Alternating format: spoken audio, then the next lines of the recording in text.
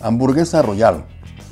Primero vamos a poner mayonesa y aderezo en el pan, agregando después las espinacas.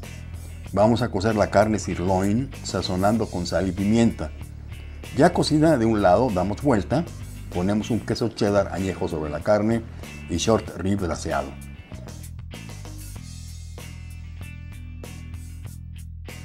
Para servir, agregamos la carne sobre el pan con espinacas y disfrutamos.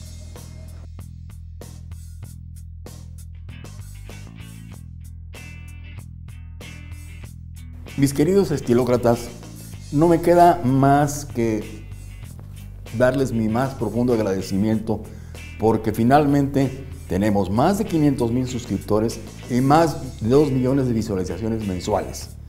Y con estos 2 millones de visualizaciones queremos ofrecerles a ustedes la posibilidad de promoverse a través de nosotros. Contáctenos al correo infoestilocrata.gmail.com